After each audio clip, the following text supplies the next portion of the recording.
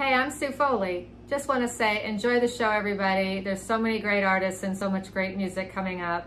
Hope you have a great day, and please support Food for Love in New Mexico.